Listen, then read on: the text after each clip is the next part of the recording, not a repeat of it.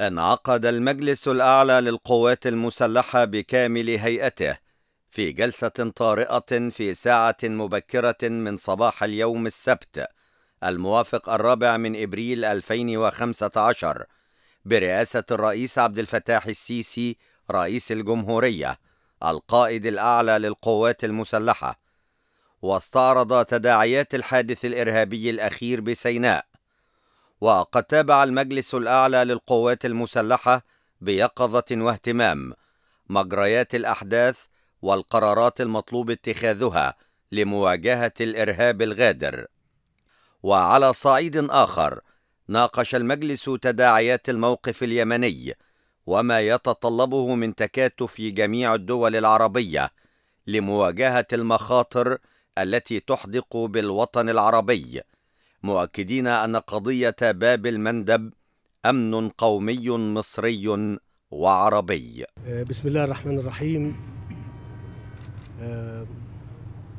أنا الحقيقة كان التقيت بالمجلس الأعلى للقوات المسلحة تقريبا لمدة ما يقرب من ست ساعات.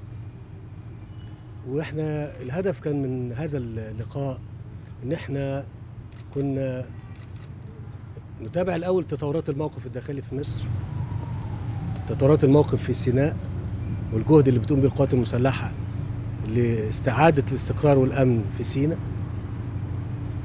ثم الجهد التنموي اللي بيتعمل وبيترتب وبيتخطط فيما يخص برضو سيناء. ثم أعمال التأمين والسيطرة على كامل حدودنا مع حدودنا الغربية. اللي هي حدودنا مع دولة ليبيا الشقيقة. إحنا بنتكلم في 1200 كيلو. ثم أعمال التأمين اللي بتقوم بها القوات المسلحة داخل الدولة المصرية. وده كان مهم قوي إن إحنا نطمن إن الأمور وبقول الكلام دوت عشان أطمن المصريين على الجهود المبذولة وعلى إن إحنا كل يوم أحسن من الأيام اللي من اليوم اللي قبله.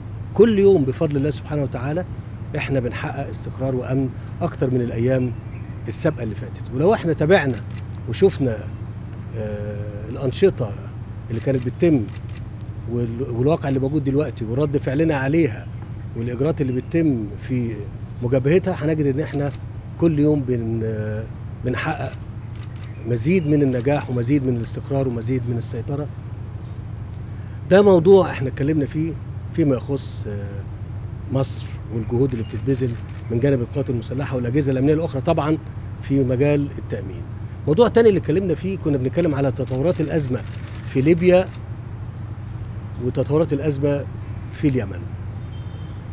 والحقيقة أنا هوجه رسالة للمصريين لأن أنا حسيت خلال الفترة اللي فاتت الأيام القليلة الماضية إن في حجم كتير من القلق لدى. لدى بعض الرأي العام في مصر. أنا عايز أقول لكم على حاجة. إحنا لما نيجي نقول إن إحنا نقف وندافع عن أشقائنا معهم ده أمر مفيش فيه كلام. مفيش فيه كلام. إحنا لن مصر لن تتخلى ابدا عن أشقائها. في الخليج ومش بس في الخليج. وإحنا بفضل الله قادرين على كده.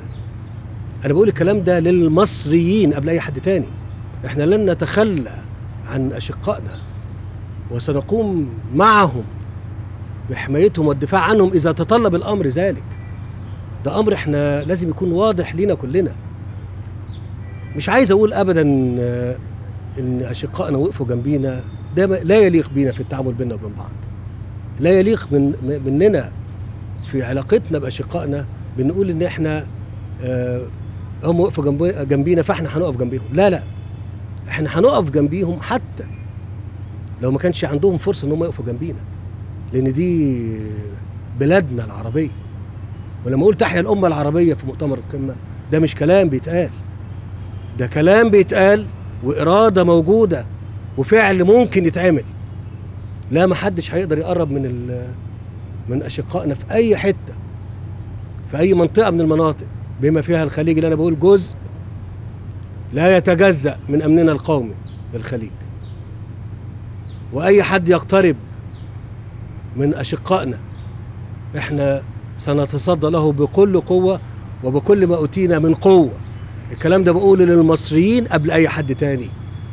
اوعوا مع كل التقدير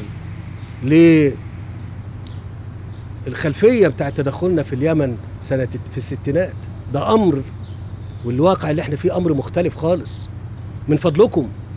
وحتى الناس اللي بتتكلم في هذه المسائل من فضلكم. الأمور بتخضع لتقديرات كبيرة جدا جدا. وحسابات وحسابات دقيقة جدا. الأمر ما بيتاخدش كده.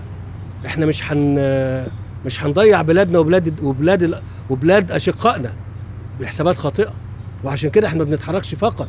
في إطار إحنا بنقول إحنا جاهزين ومستعدين ومعهم في الدفاع عنهم. لكن إحنا كمان بنتحرك في إطار إن إحنا نوجد حل للمشكلة دي في إطار سياسي. إطار سياسي عشان يعني يجنبنا كلنا يجنبنا كلنا خسائر ملهاش لازمة. والكلام ده موجه ل... أنا قلت الكلام ده قبل كده من كام يوم لأشقائنا في اليمن واكده تاني. إحنا مش مش مش, محتاجين نعمل غير ان إحنا نتحرك بمسؤولية تجاه المشكلة اللي موجودة فيها اليمن ونحلها كلنا مع بعض. إحنا ملناش مصلحة غير استقرار البلاد ديت. استقرار في اليمن استقرار في ليبيا استقرار في سوريا استقرار في العراق الاستقرار في مصر الاستقرار في أي حتة في أي دولة من دول المنطقة. ده هدف وهدف قومي بالمناسبة كمان إن إحنا يبقى في استقرار وأمان في كل الدول الدول بتاع الدول العربية قبل كل شيء. ثم العالم كله لو أمكن. أنا بقول الكلام دوت لأني لقيت إن في نقاش كتير وفي ارتباك وفي اضطراب وفي كلام بيتقال يعني للمصريين. آه؟ هو إحنا هنتخلى ولا إيه؟ هنتخلى عن الناس ولا إيه؟ لا. أمال إحنا أشقاء إزاي؟ أنا هقول لكم على حاجة. وأنا بقوله برضو مش في إطار رد جميل. لا. لكن عايز أقول لكم الناس ما فكرتش ساعة لما حصل 3 سبعة ما حدش فكر. سفن الوقود كانت بتتحول من البحر الأحمر والبحر المتوسط تخش على موانينا عشان تضخ وقود في محطات الوقود بتاعتنا لو كانش فيها وقود. وحاجات أخرى كتير قوي. أنتوا تعرفوا جزء منها كبير؟ والجزء الأكبر موجود عندنا. أمر لا يمكن ينسى. والكلام ده أنا بقول للمصريين أصحاب آه، يعني دي بلد عظيمة وشعب عظيم. بلد عظيمة وشعب عظيم الشعب المصري. والشعب المصري يا مادة ويا ما قدم من غير ما حد يطلب منه.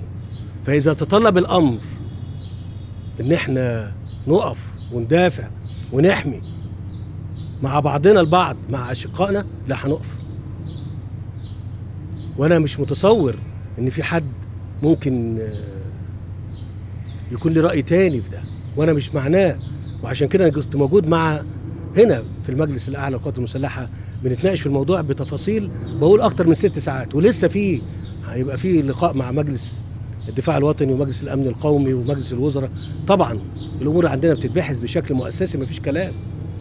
لكن أنا بحط إطار آخر كلنا نبقى متوافقين عليه إن الأمن القومي العربي لن يحمى إلا بينا كلنا مع بعض ومحدش ابدا هيدي ظهره للتاني. النقطة دي نقطة في منتهى الأهمية أو الموضوع ده موضوع في منتهى الأهمية كلنا ناخد بالنا منه. ولازم تعرفوا تاني. إحنا بنتعاون من أجل البناء والتعمير مش العدوان على حد. إحنا ما بنتكلمش على عدوان على حد. إحنا بنتكلم على حماية على دفاع على تأمين. هو باب المندب. ده قضية أمن قومي مصري وعربي. مين اللي هيتصدى له؟ إحنا. مع أشقائنا. الأمن القومي العربي في الخليج في السعودية في الإمارات في الكويت في البحرين في أي دولة ده أمننا. ولازم كلنا مع بعض ومحدش ابدا هيستطيع النفاذ بين أشقائنا وبيننا. كان مهم قوي إن أنا أقول الكلمتين دول والشعب المصري يسمعهم مني. إن كان يثق فيا إن كان الشعب المصري يطمئن إن أنا حريص عليه. وحريص على كل ابن وبنت من أبناء مصر على كل قطره دم من قطرته. لكن لكن إحنا أمة في خطر أمة في خطر تدافع عن نفسها وستدافع عن نفسها وتحمي نفسها. وتنهض هذه الأمة مرة تانية. وتنهض بفضل الله سبحانه مرة تانية. وتستعيد مكانتها. شكرا جزيلا. وتحيا مصر تحيا مصر تحيا مصر. السلام عليكم ورحمة الله وبركاته. شكرا جزيلا.